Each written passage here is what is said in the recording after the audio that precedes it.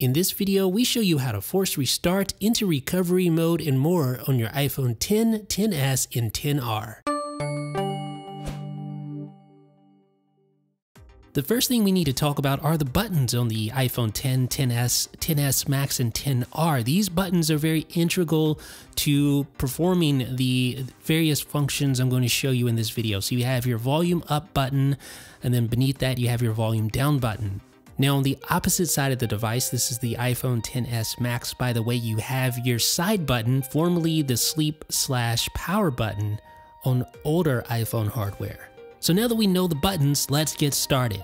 Now the first one is an easy one, how to power off your iPhone. And you're gonna use either of the volume buttons plus the side button in order to do so. So you can press either volume up or volume down along with the side button to initiate the power off process. So holding the volume down and side button and release once you see this screen right here. And now all you need to do is just slide to power off just like that. And that's how you power off your iPhone. Now, if your iPhone is off and you want to power it on, all you do is you press the side button once like that. You don't have to hold the side button, just press it once and you'll see the Apple logo come on and then your device will boot back up. Super simple, super easy. Now here's where things get interesting, how to force restart without a home button. Now if you're an iPhone 10 user, you probably already know this, but if you're new to the home button list devices, listen up because I'm gonna show you how easy it is. All you do is you press the volume button up, volume button down, and then press and hold the side button. Volume up, volume down, hold the side button, continue holding the side button, and then your device will restart. Just like that. You can release the side button now, and then you'll see the Apple logo. Eventually. there it goes. All right, so that's how you force restart. Now let me show you how to enter recovery mode. This is obviously going to depend on you being connected to a computer with iTunes installed. In this case, I have my MacBook Pro connected with a lightning cable. You're going to need to trust your connection there. So if you see that trust button come up, you just tap trust, put in your iPhone's passcode, which I'm doing right here. And you'll need to authenticate if this is the first time connecting to your computer, just click continue. This is just a one-time thing. Now to boot into recovery mode, you press volume up once, volume down once, press and hold the side button, and continue holding the side button.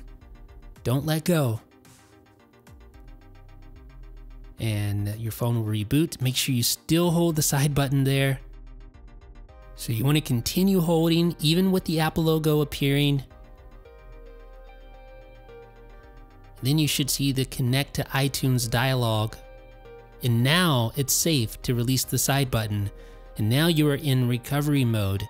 And you should see something pop up, a little prompt pop up on your Mac or your PC in iTunes, asking you to either restore or to update. You can choose however you want to go about it.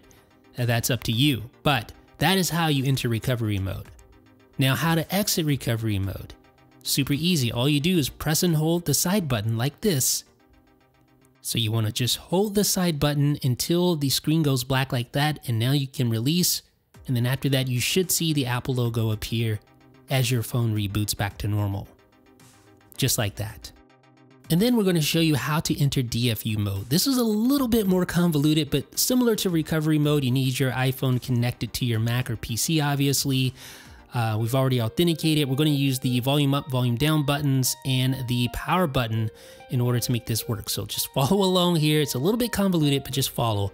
So you press volume up, followed by volume down. So volume up, volume down, hold the side button, and you want to hold the side button until the screen goes black. Now, once the screen goes black, you want to press and hold the volume down button while still holding the side button. So count 1 1000, 2 1000, 3 1000, 4 1000, 5 1000, release the side button while continuing to hold the volume down button. And keep holding that button until you see a prompt on your computer acknowledging that you're now in recovery mode. It should look something like this. So the next obvious question is, well, how do you get out of DFU mode? It's not as easy as getting out of plain old recovery mode, but it's still pretty straightforward. So you press volume up, volume down, and hold the side button until you see the Apple logo. So this may take just a second, so be patient. Eventually though, you will see the Apple logo appear on screen. There we go. So now your iPhone will reboot back to the home screen. Now a couple little bonus details, how to disable Face ID. You can do so using the volume buttons and the side button. So press either of the volume buttons and the side button, hold them until you see this screen release. And now Face ID is disabled when you press the cancel button. You'll have to enter your passcode to activate Face ID. And then you can use the same technique to invoke emergency SOS. So hold either the volume buttons and the side button, but this time continue holding those buttons. You can see the little countdown if you let that thing go all the way to zero, it will automatically dial emergency services and notify your contacts, your emergency contacts with your location. You can also slide that button as well.